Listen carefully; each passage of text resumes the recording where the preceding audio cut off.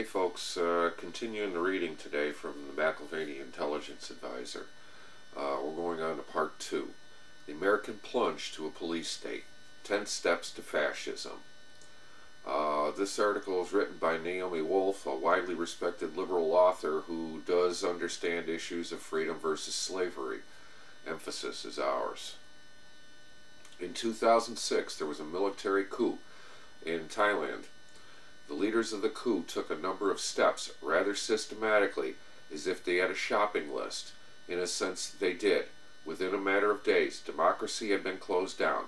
The coup leaders declared martial law, sent armed soldiers into residential areas, took over radio and TV stations, issued restrictions on the press, tightened some limits on travel, and took certain activists into custody. They were not figuring these things out as they went along. If you look at history, you can see that there is essentially a blueprint for turning an open society into a dictatorship.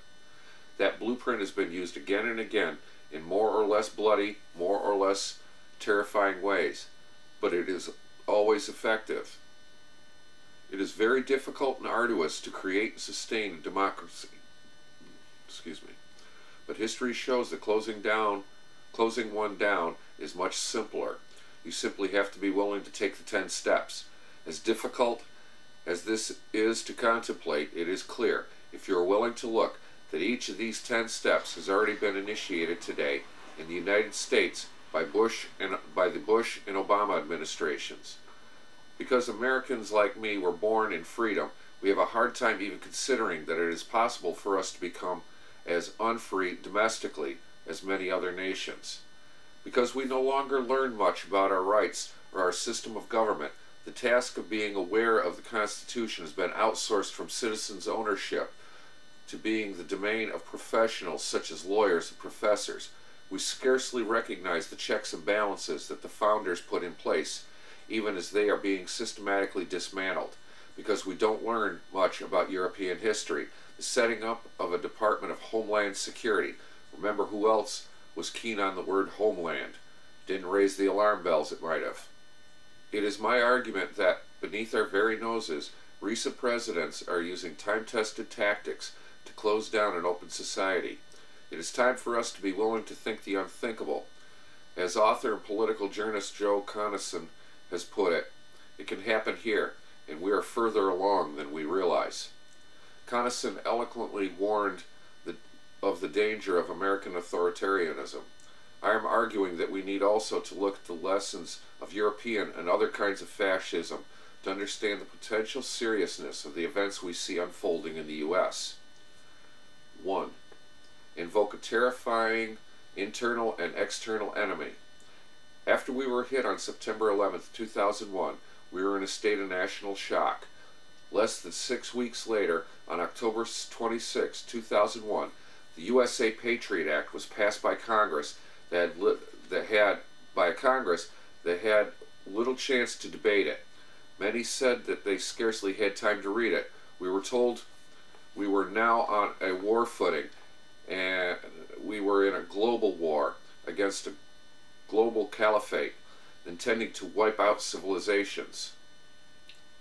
There have been other times of crisis in which the U.S. accepted limits on civil liberties, such as during the Civil War, when Lincoln declared martial law, and the Second World War, when thousands of Japanese American citizens were interned.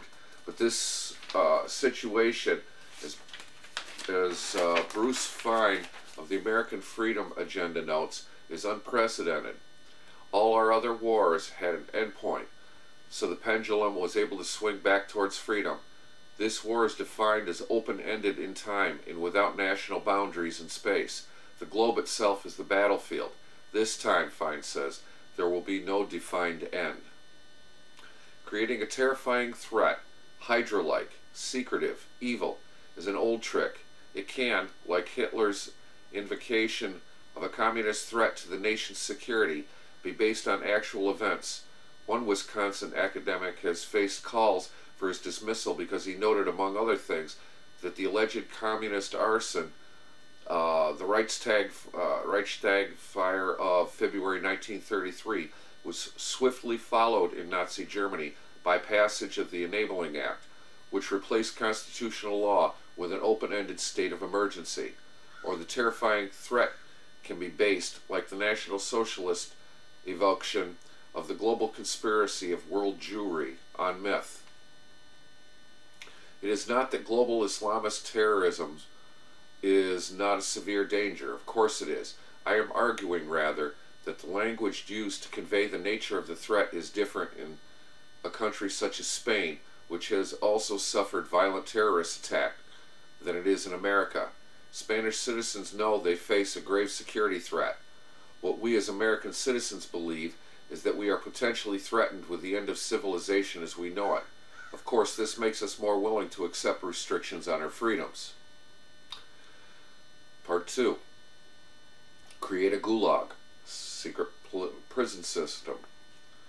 Once you have everybody scared, the next step is to create a prison system outside the rule of law.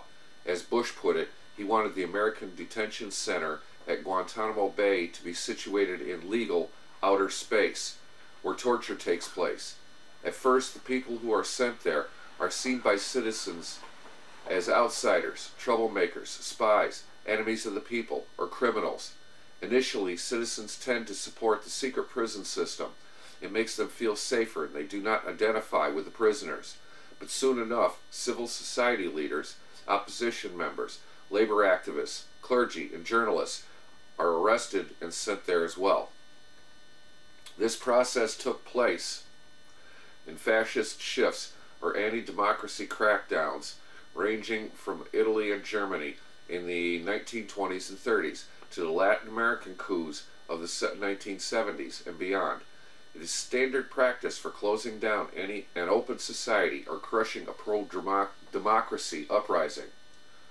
With its jails in Iraq and Afghanistan, and of course Gitmo uh, in Cuba, where detainees are abused and kept indefinitely without trial and without access to the due process of the law, America certainly has its gulag now.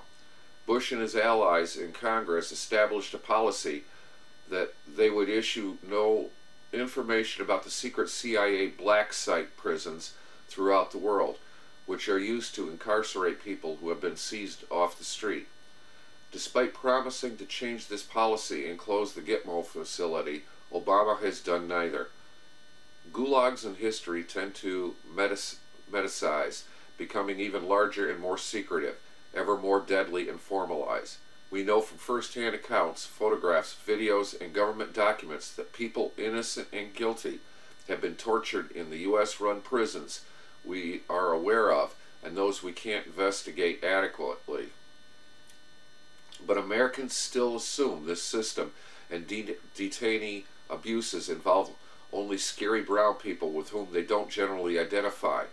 It was brave of the conservative pundit uh, William Safire uh, to quote the anti-Nazi pastor Martin Niemöller, uh, who had been seized as a political prisoner. First they came for the Jews. Most Americans don't understand yet that the destruction of the rule of law at Gitmo set a dangerous precedent for them too.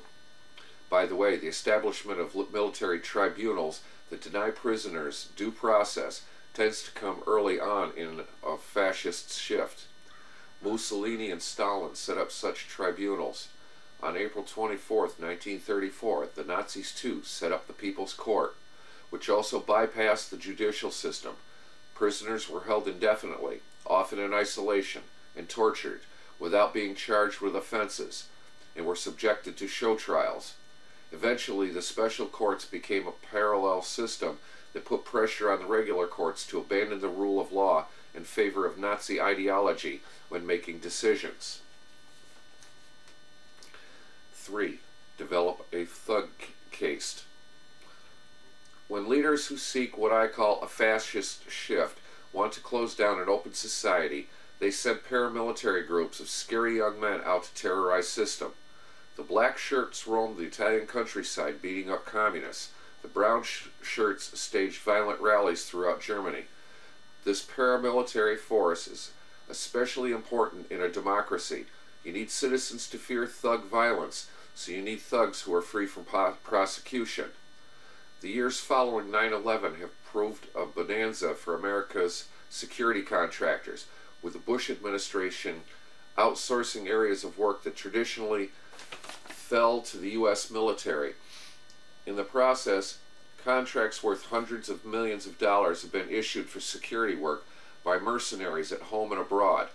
In Iraq, some of these contra uh, contract operatives have been accused of involvement in torturing prisoners, harassing journalists, and firing on Iraqi yeah, civilians.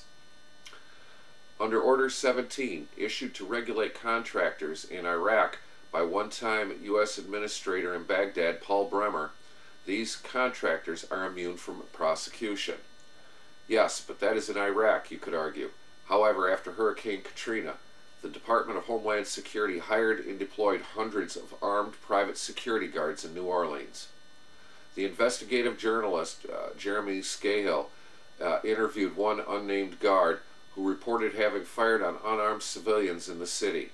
It was a natural disaster that underlay the episode, but the Bush and now the Obama administration's endless war on terror means ongoing latitude for what are in effect privately contracted armies to take on crisis and emergency management at home in the U in U.S. cities.